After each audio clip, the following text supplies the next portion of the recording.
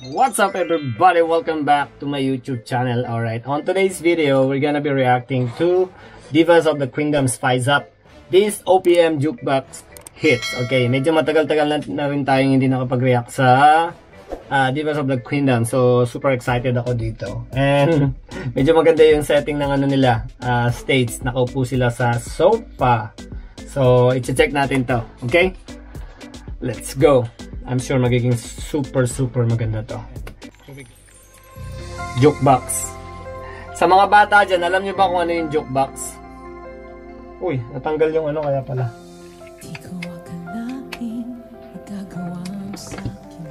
Woo! Ang hirap kumanta na nakaupo. sa'yo Sino isang medyas? Sinaktan mo Wow! Ngunit di ko na sana Sinaktan ang puso ko Sinaktan mo ang puso ko Ngayon ako'y naghihingalo Mauubusan ako ng dugo Sinaktan mo ang puso ko Wow! Nakakamiss sila.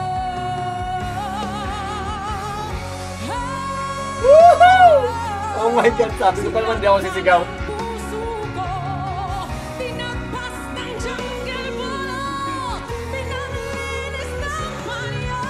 Oh my God!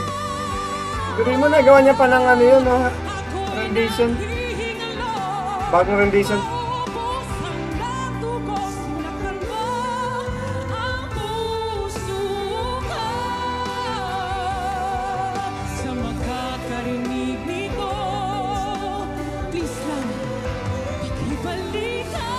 Yung buhok niya, sa pagkakaigaan niya, hindi niya naayos. Ayun, oh. Pero okay lang. Galing. Sabay upo. ay di masyadong malaki ang katawan. Type ko'y payat na malaman.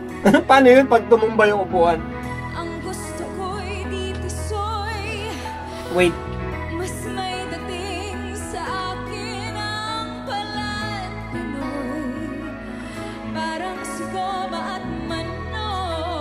Ang gara ng lyrics. Hey!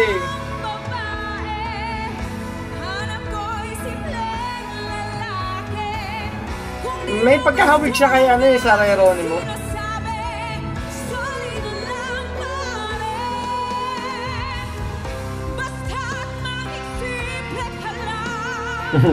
Parang theater siya.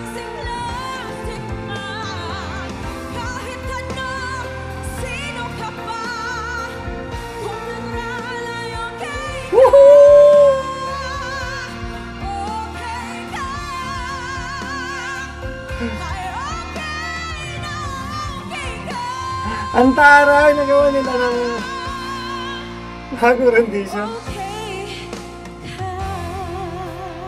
Galing. Mapapatatawa yan pagkatapos. Ay!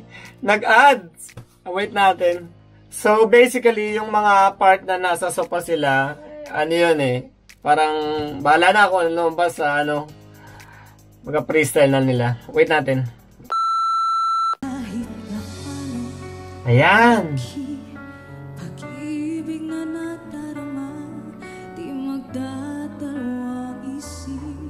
Ay, sorry. Nantok ako. Nantok ako. Pagod sa class, sa ano, sa class.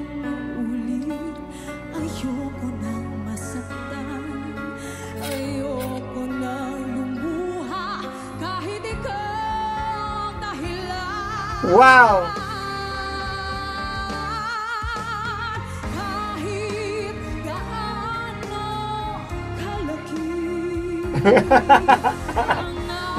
Ang cute. Ang ganda ng mga kanta dati. Ito yung mga kinakanta sa karaoke ng mga tita ko.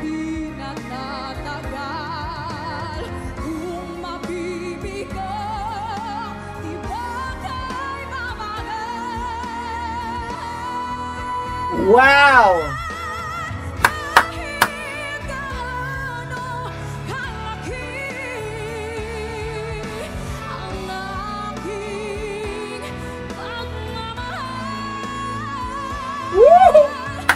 Oh my goodness!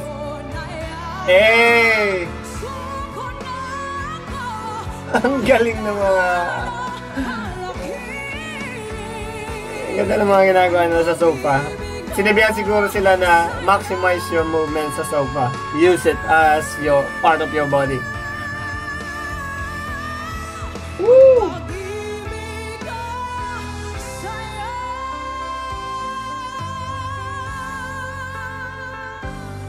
Enjoy lang sila. Ito maganda rin tong kanta na to.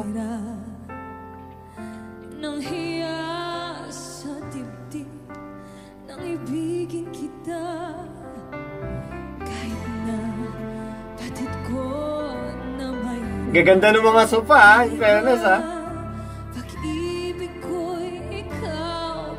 Sinta Ay, sorry. Grabe, pagod ko.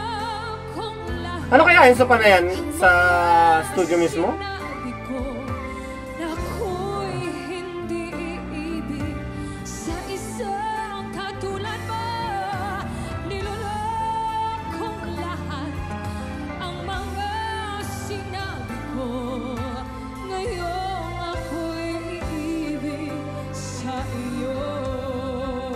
Sinabi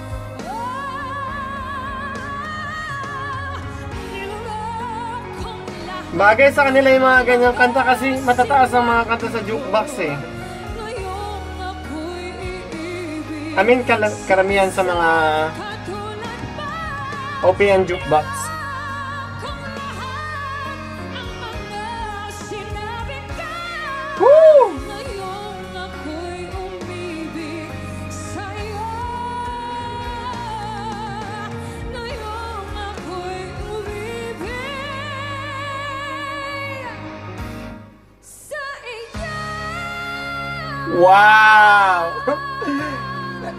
Si ano, ang pangalan nito?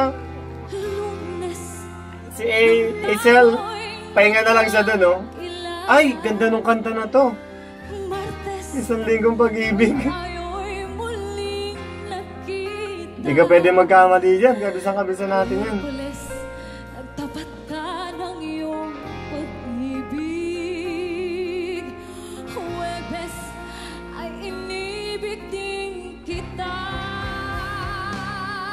Ito pala yung nakita ko sa IG niya. Hey!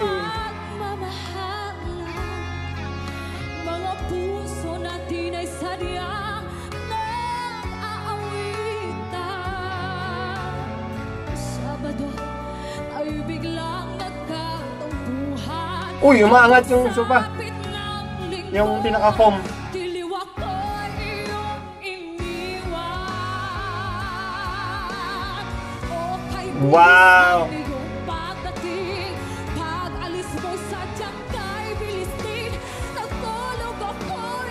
Ang galing. Yung tema nila parang A- Asian. Ano? Parang nasa... Anong tawag dito? Parang namas na sa mansion. kay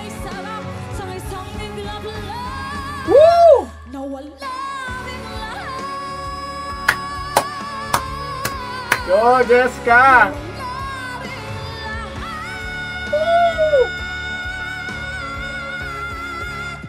Rin lahat Oh, that was difficult. Pahinga ka muna dyan. Ang galing. Nakakatawa. Ano pa? Eh, Here we go.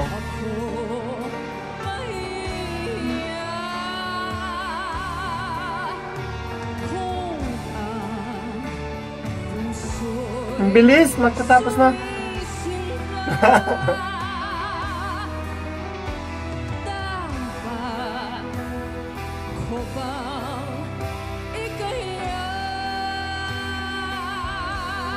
Napansin niyo yung mga kanta sa jukebox before? As in, more on diaphragm talaga yung nabasa ng kanta. Here we go.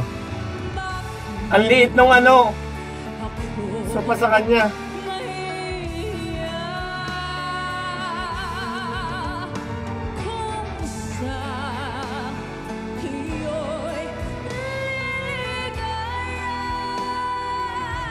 Ang hirap niyan.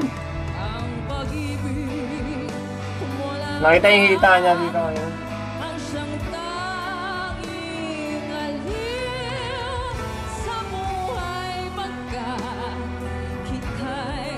Natatawa sila.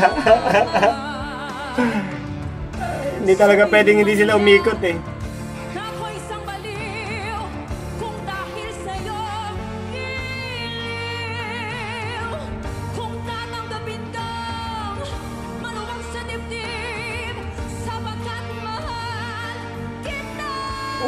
Ako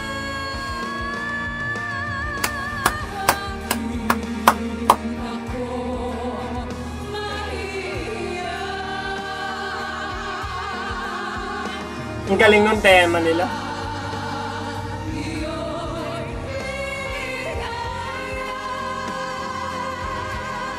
Lakas mo kayo mayaman nung kanta nila. Promise.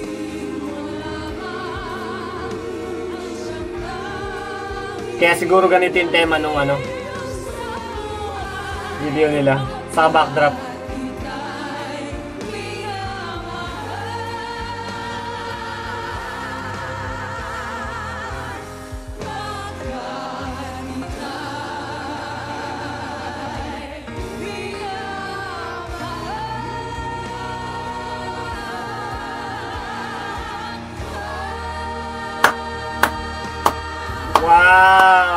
Post. Ay, pinutol.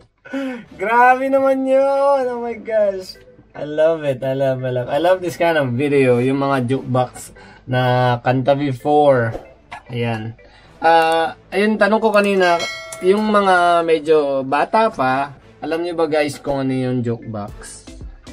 Yan yung ano yung ma- may, sa isitan kasi malas nakikita yun eh. Parang ganun na machine siya. Tapos maghuhulog ka ng ano, magkano ba yung inuhulog ko dati noon?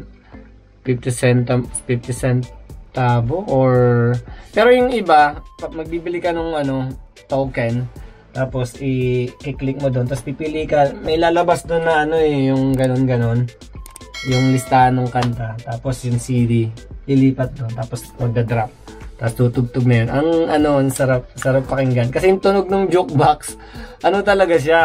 Ah ah, parang stereotype na ano galing sa, sa box yung music. Hindi pa yun kagaya ngayon. Medyo sobrang surround na ganda iba pa rin yung dati. Actually nagplan ako bumili dati ng ng jukebox kaya lang medyo namamahalan pa ako that time kasi wala pa akong trabaho. As a students pa lang ako. Kaya lang ngayon wala dito to, tayo sa Hong Kong. Actually sa Hong Kong meron din eh. Ang problema ngayon dito wala akong space.